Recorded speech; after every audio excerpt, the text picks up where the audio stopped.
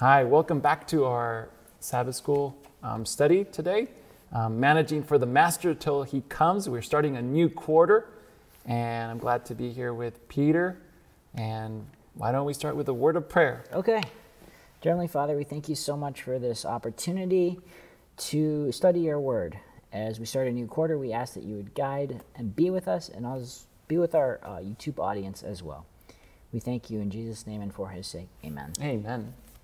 Okay, so new lesson. This is the, I'm putting it here on the screen. You, you see the cover of it, and I guess you could probably guess what this topic is about. Um, Pastor, do you want to give the kind of a brief overview of this quarter and the topics? It's going to be interesting because most of the time when we think of managing, we think of maybe time Hmm, and we think of treasures.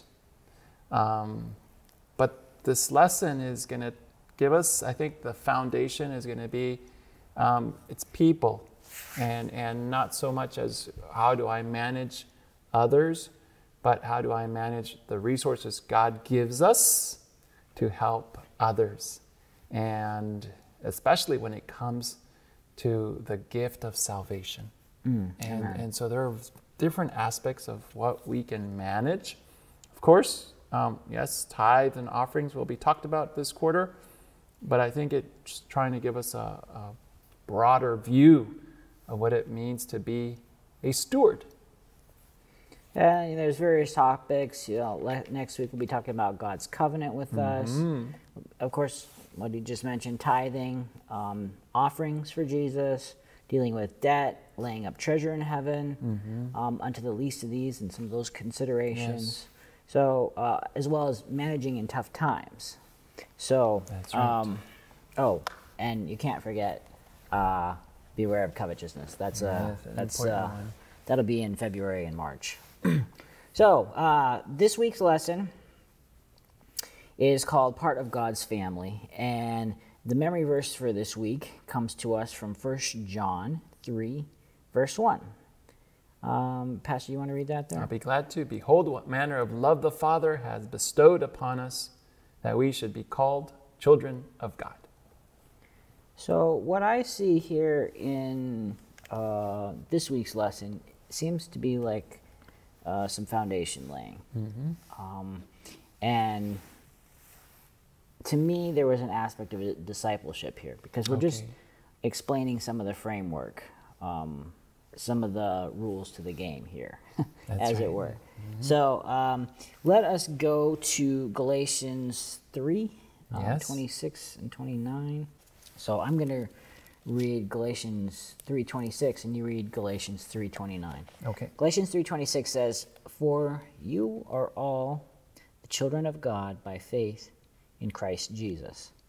And if you are Christ's, then you are Abraham's seed and heirs according to the promise. So, what does that mean?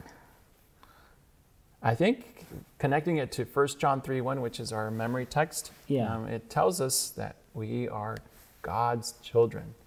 And the lesson makes this emphasis. There is basically no greater title, no greater position, no greater um, achievement than being God's children.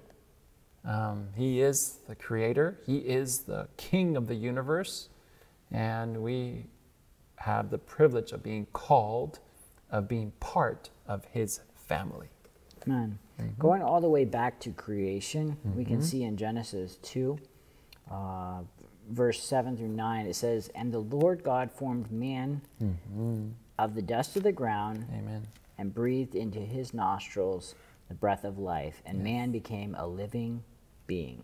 Yes. The Lord God planted the garden eastward in Eden, and there he put man whom he had formed, and out of the ground the Lord God made every tree to grow that is pleasant to the sight and good for food.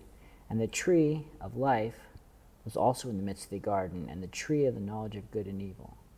So, um, and you can see in verse 15, you know, the Lord takes man and puts him in the garden uh, to tend and keep it. So, he creates man in his own image, and then he gives him a job. He does. and a very specific job Yeah.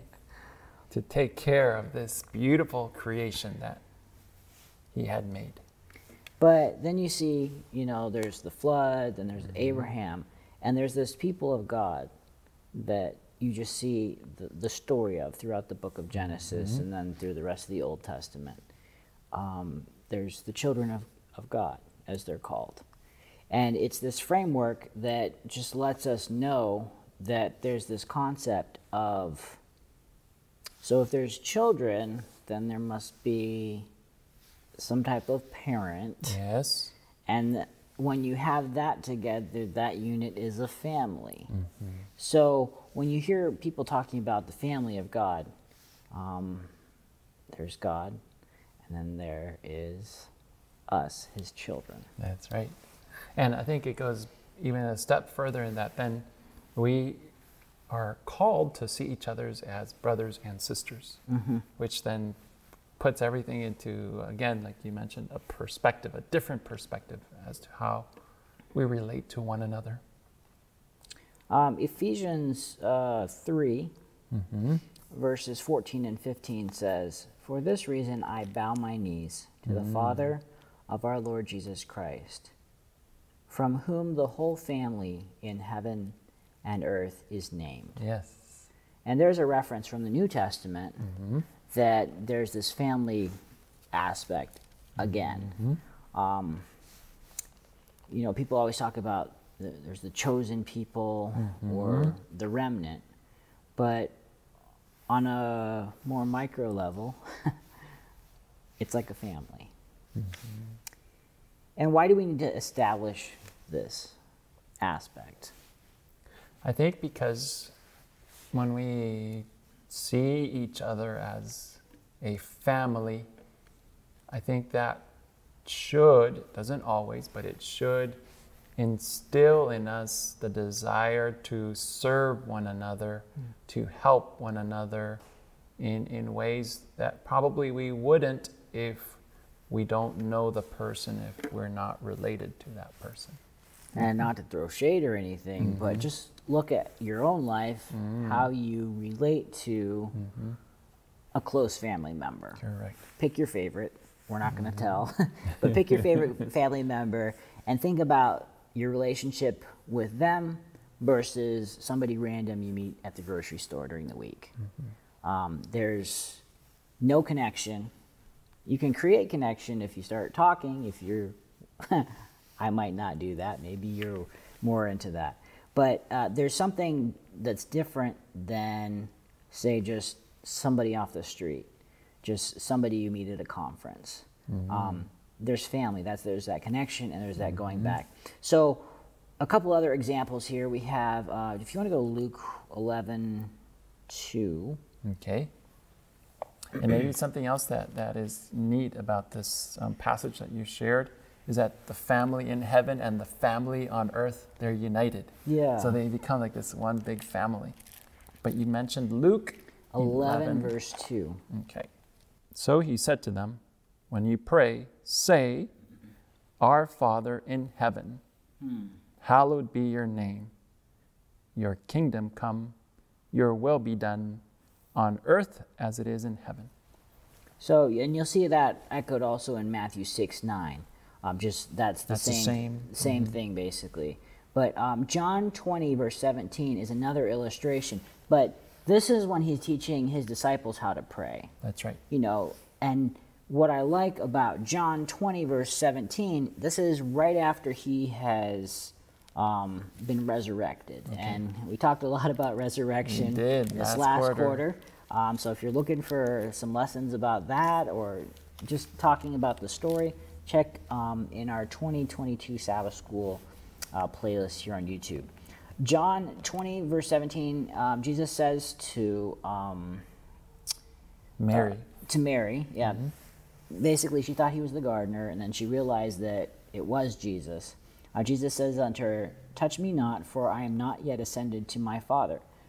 But go to my brethren and say to them, I ascended to my Father and your Father, and to my God, your God. Um, And another version puts it, I am ascending to my Father and your Father and to my God, your God. So it's kind of like there's this, and it's pretty consistent through the, the various versions. I'm just flipping through a couple others here. But there's this concept of, yes, he's my Father, but he's also your Father. Mm-hmm. And then right after that, it's like, go tell the disciples that um, about the resurrection. So it's a step even further where, where Jesus basically calls himself our brother. Yeah. So imagine now what, what kind of a relationship God yeah, is. you deduce it, oh, mm-hmm. if that's my father and that's your father, and that's our father. That's our father. Which mm-hmm. rotates back to what we just read in Luke, mm-hmm. our Father which art in heaven. That's right. So it's a nice uh, full circle here. Mm-hmm. I'm going to read a quote here real quick. Mm-hmm. It says, The family of heaven and the family of earth are one. Um, and that's what you referenced Correct. as well. Mm-hmm. Uh, but that's just one of those quotes you can find as well in the Desire of Ages. Mm-hmm. But let's look at how God relates to us mm-hmm. um, in Exodus. So uh, this is in his relation with the children of Israel. Mm-hmm. Um, Exodus 5 1. And I'm going to read uh, Exodus 3.10. Exodus 3.10 says, Come now, therefore, and I will send you to Pharaoh, that you may bring my people, the people of Israel, out of Egypt. Afterward, Moses and Aaron went in and told Pharaoh, Thus says the Lord God of Israel, Let my people go, that they may hold a feast to me in the wilderness. Hmm. So, how does this we've just talked about the father mm-hmm. aspect, mm-hmm. but then this is like a, a, slightly different slant. How does do these verses, and remember Galatians, we just read Galatians mm-hmm. as well. What are they saying about God as He relates to us? He's calling them His people, and as as if they belong to Him. They're His. Um, Let my people go. Yes. Which to somebody who's a complete narcissist and all mm. about himself, mm. Seems very in the face. Mm-hmm. And he didn't understand, but after a bunch of plagues, he began to understand. He got to understand. Um, but uh, that there's also that that um, aspect of letting them go so that they can sacrifice. Mm-hmm. And it, I think there's another aspect that's interesting too here, where um, the people mentioned here are also known as the children of Israel. Hmm. In other words, they're family. This is one big family, and God calls them my people. Hmm. And, and so maybe this, this again, idea of, of, of family in, in, in relationship to maybe other nations in which, um, yeah, they, they did not know God and, and we're not part of this special group. So we are sons of God mm-hmm. through faith in Christ Jesus, according to Galatians and um, Galatians three twenty nine, and you know, we're Abraham's seed according to the promise. Yes. So that's a very different view than we might find in society. And based on of this view, um, you know, we've talked about the image of God, heirs of the promise, all these different things. What is our relation to other human beings? Mm-hmm. You know, we forget that outside of our actual family circle, our genetically family mm-hmm. circle, um, there's a whole extra group and mass of people. I think if, if, if people would treat each other as families, we would not have what's happening in Ukraine. Mm. That would not be happening. Um, if people treated each other as family, um, we would probably see more compassion, more um, generosity, more kindness, more um, sweetness mm. Um, in our society, which is something we don't see today. Anywhere you go, um, doesn't matter what country, what side of the country, um, you don't see it.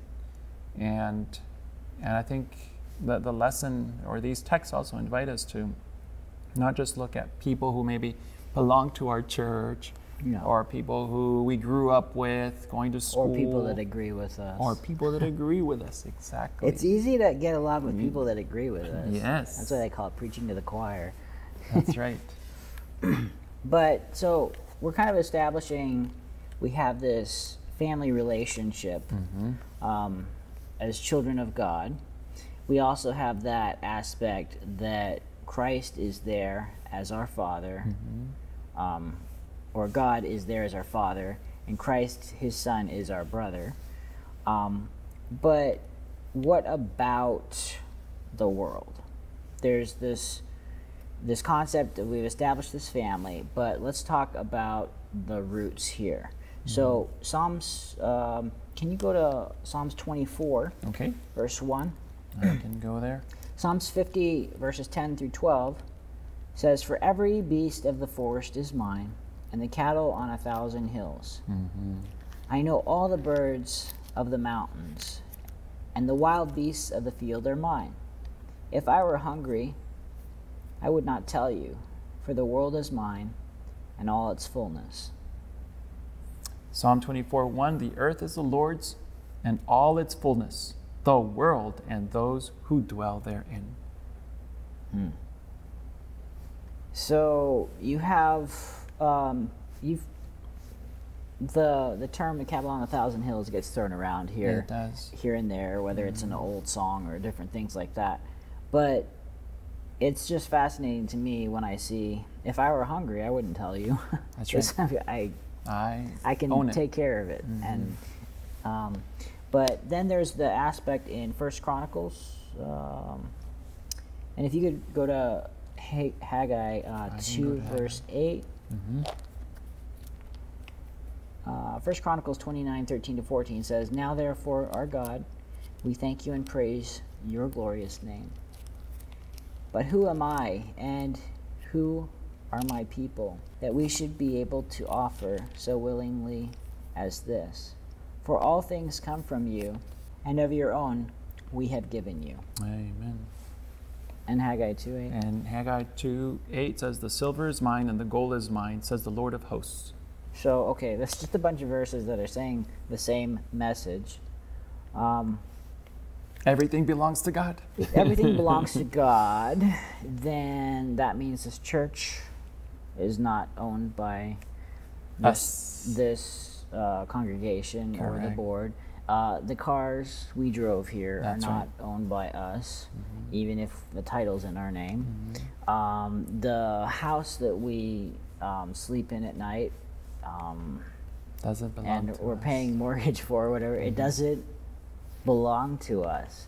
Um, and when you put this whole perspective that everything, uh, the earth is the Lord's and the fullness thereof, not only does it inspire within me like this awe, but it also um, lets me take my hands off for a moment and be like, what am I holding on to? And why is it about me? Because this is all about God. And then the more you think about it, the more you realize that, you know, uh, as Job said, naked came I into this world, and naked, Naked I will I back." will return to the earth. So um, it's just things that you think are yours. Um, think again. Uh, let them go because they are God's. And, and, and I think it, this, this again helps me know how to relate to things. And I think that's, that's always the difficult and maybe practical application to this. How do I relate to the things that are around me? And do I see them as belonging to God? And I think then it makes it um, much easier to do the right thing. When I know it doesn't belong to me, belongs to God, and this is what He would do in my place. Uh, another note on that Chronicles thing uh, that I just was reading.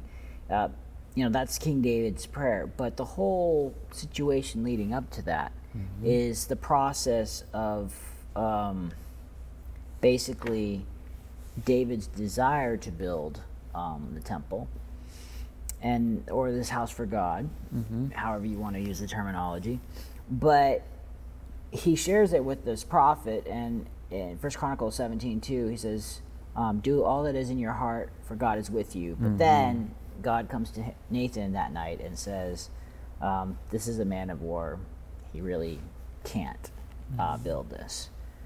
Um, his son can do it.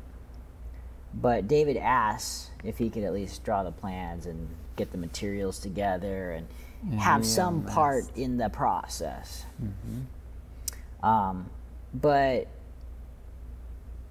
in essence, w- that First Chronicles 29 is saying we really can't take any credit for all these special materials because we are just giving you back your own What is stuff. yours already. yeah.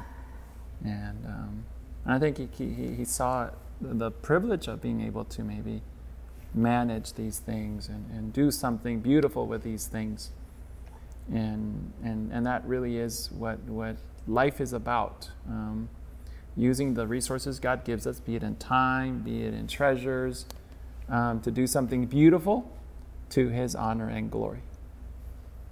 And I think we'll get more in depth Mm-hmm. on a lot of those things later. But it's coming back to our view of creation, you know, Genesis 1, verse one Mm-hmm. Uh, in the beginning, God created the heavens and the earth. Mm-hmm. And John 1, verse 3 all things were made through him, and without him, nothing was made that was made. Psalms 33, verse 6 By the word of the Lord the heavens were made, Amen. and all the hosts of them by the breath of his mouth. And verse uh, 9, again, for he spoke, and it was done, he commanded, and it stood fast. So, um, at the end of this um, day here on, and the study, just talking about God being the owner of everything, I kind of rotate back to that verse from First Chronicles 29. But who am I, and who are my people that we should be able uh, to offer so willingly as this? Amen. Are there any other principles that are expressed in those words that, um, you know, re- reflect the attitude or our our attitude towards God? Mm, yeah, there are, and, and I think it's it's recognizing once again um, how good God is, how generous He is, and I think just the fact that He gives us life so that we can experience it and see it and be a part of it. Like you mentioned um, before, God could do this all by Himself. He would not need any one of us to but he involves us in this amazing project of, of saving others, of letting others know about his gift of salvation. So you bring up that gift of salvation, which kind of trips us over into the next lesson about Yes. resources that are available for God's family. Amen. Um, we all have resources available, and as we talked in that previous um, lesson, previous quarter, you know, the greatest gift um, to us as His children is Jesus Christ Amen. who brings that forgiveness, who brings that peace and that grace for daily living, uh, spiritual growth, and of course, hope for the eternal life. um, John three sixteen. You want to say it by memory? Yes. For God so loved the world that he gave his only begotten Son, that whosoever believes in him should not perish, but have everlasting life. What a gift. And John 1:12 kind of hammers that in. But as many as received him, hmm. to them gave he power to become the sons of God, Amen. even to them that believe on his name. And I think the lesson points out in this day um, that salvation is that foundational gift that God has given us. And it came at a price. Yeah. It wasn't free. It wasn't free. But we take it for granted. We do because Like- it's freely given to Yeah. us. Do you But it- ever realize, like, in life, you start taking stuff for granted? Yes. Whether it's discounts Yes. or because maybe your work gives you certain perks or something, you take Mm-hmm. it something for granted for a while, and then if that perk gets discontinued, then you're like, "Hey, what? Come on!" what happened? But we take s- such a great gift Mm-hmm. for granted. And I think more so in our context where there are so many who do not have it. So Yeah. because we have it, we think, oh, everybody Everyone else has it. obviously. But- but nope. It's not the case. Uh, 1 Corinthians 2, uh, verse 2 Okay. um, says, For I am determined Mm-hmm.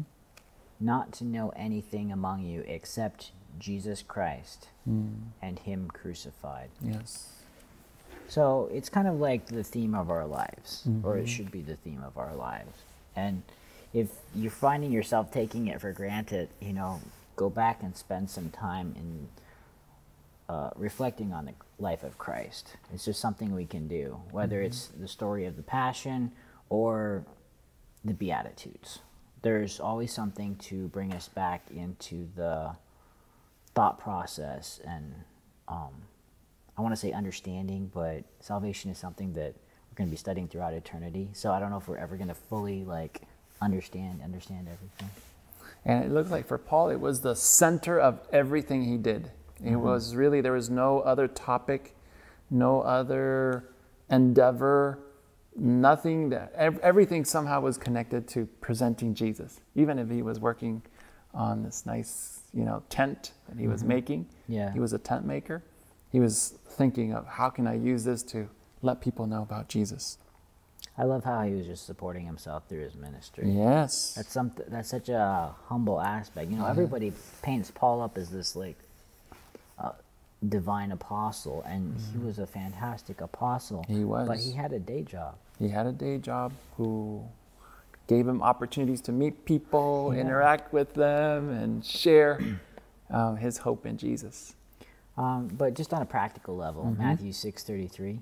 Um, but seek first the kingdom of God and His righteousness, and all these things will be added unto you. Amen. So, whether that is uh, you pick the time of day that works best for you. So, if it's first thing in the morning, that's a great thing. But maybe your mornings are rushed. Yes, give yourself to Him in the morning, but maybe your evenings you can spend a little more quality time where your your brain is clear. Um, it's finding that time to seek first the kingdom of God and uh, study the plan of salvation. And what's beautiful, um, Pieter, is that when we are seeking God's kingdom and His righteousness, the amount of resources that are available to us to accomplish His mission, His work, is inexhaustible. So you see all those parables about for such as the kingdom of heaven, you know, Mm-hmm. looking for the lost coin, or um, there's having faith like a grain of mustard seed. All these different things are kind of pointing, you know, and searching for um, things in the Bible as for hid- hidden treasure. Um, have you ever like looked for treasure? I have. I've been in an archaeology dig. Yeah. or even as a kid, I can remember, um, you know, being at the beach and hoping to find one of those Yes. coins that Yeah. washed up on the Yeah, from some sunken pirate ship or something. That's something. right. Um, there's this uh, in Arkansas. There's these diamond That's right. diamond mines and stuff, and you can pay five bucks or something cheap to just go in and like spend the day, and you can rent tools there. It's a great tourist trap, Mm-hmm. and you can keep whatever you get. So I went out there because I was like, I had never been to this. I'm gonna just go try this out. And there are people who lived in the area. They're like, well, I mean, it's I mean, uh, conditions aren't ideal. Ideally, you would go after a rainstorm and stuff like that, to, you know, have fun. So I get out there, and there's a lot of other people digging, and it's hot outside, and you're digging, and you're like, whoa, cool, I found something. So you put it in your things, you go, and oh, I found something, and then oh, I got some fire ant bites and stuff. But yes, I spent like half a day. it was just Digging it, away. It was digging, and at the end, I had this little thing, bag of little kind of clearish rocks and stuff. And I was like, oh, maybe one of them's a diamond. So I go back to the park ranger, and they're I guess it's a national park or something, Okay. but or a state park, I think. But she like looks through and she's like, oh, this is this kind of quartz, and this is this kind of quartz. And I'm like, surely that one must be. And this is this kind of quartz. I'm like, how? But like, you know, there's people that like really study this They out. do. And if I, I always think back to that one when I think about searching for hidden treasure because um, I thought I was putting in the effort. I was getting my fire ant stings and I was getting sore knees and sore arms and it was hot outside. I was having to hydrate and that was a lot of work, but I still didn't find the diamonds. And every once in a while you'll see in the news somebody found some diamond That's in right. Arkansas And a or big something. one, too. Yeah, and then it's like a lot of money. I'm like, wow, I wonder what part of the park that was. Mm-hmm. So it's just kind of that um, aspect that there's some effort involved in seeking first the kingdom of God. Amen. Amen. Um, Psalms 23, verse 1 says, The Lord is my shepherd, I shall not want. Amen. That- that's a promise. That is a promise we can bank on, we can hold on, we can rely on. And that psalm continues telling us that He will provide for our food, He'll provide a place for us to rest, um, still waters. I Yeah. think that's like the thing I I know tattooing is not Mm-hmm. ideal, but like uh, I shall not want would be the thing to keep because we get so into the mode of like life and Yes. stuff and things and like absorbing our interest and the covetousness that seeps in and you don't Mm-hmm. realize it until like retrospectively you're like man that was I was why was I like coveting that I don't even need that Mm-hmm. Don't but use it. that I shall not want is such a powerful aspect Mm-hmm. that comes back into my life a lot. There's a, one of my favorite um, songs is um, on that. I'll put it on the screen. It's a great quiet song. Mm. You should look it up on YouTube here. Um, but you know, I shall not want is the theme. Oh, nice. Um, Psalms 37, 25. I have been young and now am old, yet I have not seen the righteous forsaken, nor his descendants begging bread. Incredible. Again, inviting us to remember that um, God's people will be taken care of.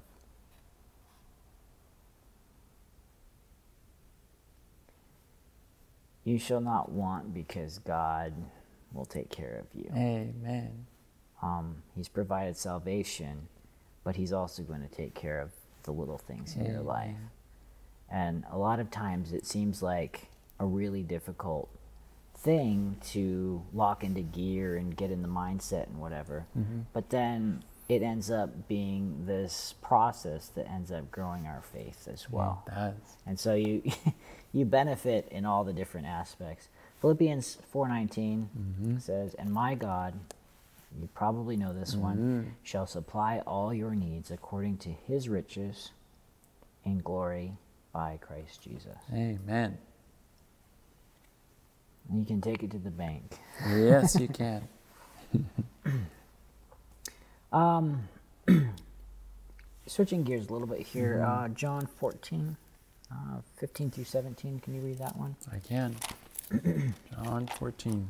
It says, If you love me, keep my commandments, and I will pray the Father, and he will give you another helper, that he may abide with you forever.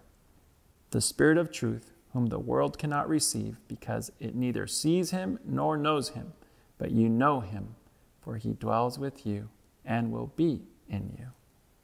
And John 16, 13, piggybacking off that, mm-hmm. says, However, when He, the Spirit of truth, has come, He will guide you into all truth. For He will not speak on His own authority, but whatever He hears, He will speak, and He will tell you things to come.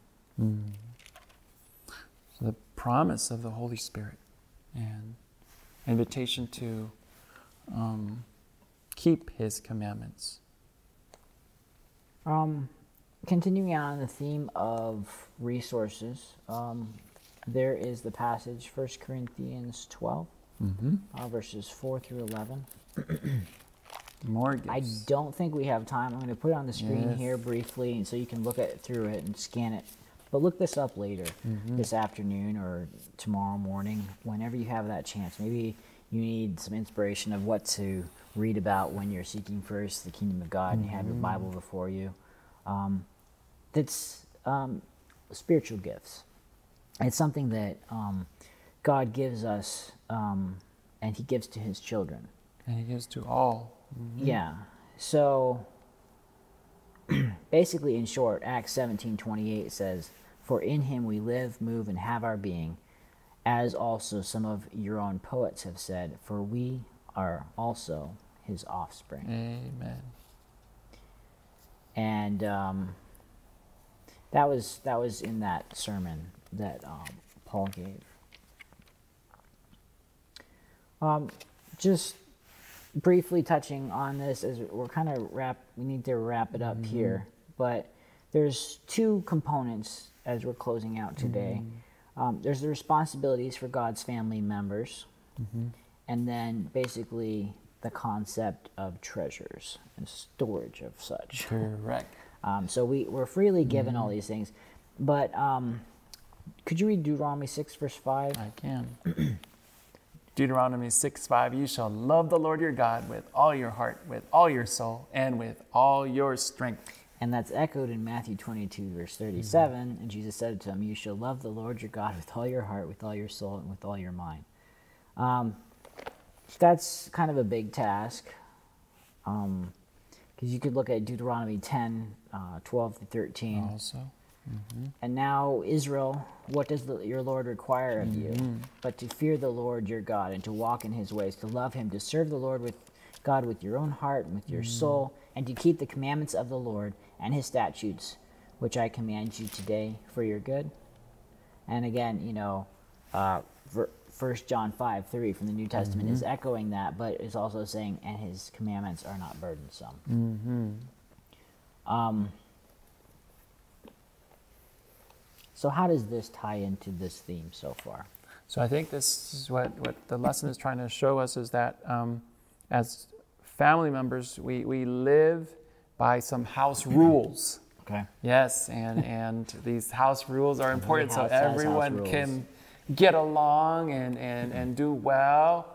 And, and these gifts that God gives us, um, again, is not just for ourselves, but to share them with others so that the entire family benefits.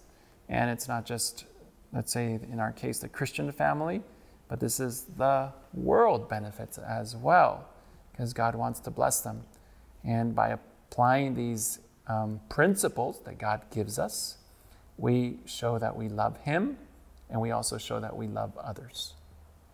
So, basically, so far we have established that we're part of God's family, mm-hmm. and God is owner of everything, That's right. and we have tons of resources available We to do. us. But just like if you were a king's son or somebody super in a place of great wealth, there are rules. There are rules. And there's, I mean, it's not a it's not a list. It's not an extreme list. Mm-hmm. There's places where you're like, oh man. You look at some of these documents that come They're out of huge. institutions and stuff like that. It's like, my goodness, who created every one of those rules? Mm-hmm. But again, it's not from a perspective of this is what you must do. It's from the perspective of I love God, so what can I do That's right. for Him? And I think that's, That's an important Important. um, aspect Mm-hmm. um, to consider. um, and of course, you can look up Matthew seven twenty one Mm-hmm. to 27. But as we're kind of closing out, let's just touch on this one verse um, Matthew 6 19. and to 21. Can you read that? Okay, do not lay up for yourselves treasures on earth where moth and rust destroy and where thieves break in and steal. But lay up for yourselves treasures in heaven where neither moth nor rust destroys and where thieves do not break in and steal. For where your treasure is, there your heart will be also. Hmm. So, what can we take from that? That's an important text. I think this is probably the text that um, summarizes um, the principle that God gives us in regards to our relationship to things. And I think it's very human to want to store things. And the reason why we store things is because we lose things or we need things. I might need this later. Exactly. And all of a sudden, I have a lot of the same thing stacked up, while there are others who have none of it because I've somehow managed to. Um, yeah. Allocate all of it to yourself. That's right. And that's the story of our world. Some nations or some families with many resources, others with zero resources. And um, God is telling us to store our treasures in heaven. Um, Which, If I mm-hmm. was recently at one of these hurricane disasters in Florida, Mm-hmm. and just to see the the just obliteration of mm-hmm. things and stuff, hmm. beautiful houses gone, beautiful mm-hmm. cars completely trashed and underwater, non-functional anymore. People have invested in boats just sitting up on the side or crushing a car, and it's just like each one of these has a story tied to it. It was somebody's precious possession, and now it's just destroyed. And um, it's just one of those things that God reminds us that um, don't get too tied down with what's here because that can also be gone in a moment. But what's in heaven amen. is what lasts through eternity. Amen. Um, there's a ver, uh, quote from Steps to Christ that says, The heart of God yearns over his earthly children with a love stronger than death. In giving up his Son, he has poured out to us all heaven in one gift. The Savior's life and death and intercession, the ministry of angels, the pleading of the Spirit, the Father working above and through all, in an unceasing interest of heavenly beings. All are enlisted in behalf of man's redemption. Amen. And it comes down to we have this opportunity for salvation. This is one of the greatest things ever given to man. And this lesson referenced it a lot, and that's kind of the bottom line of this lesson. Um, God has given us all these opportunities. He owns everything, but He's allowing us to. How do you say it? To manage it for His glory and maybe also to, um,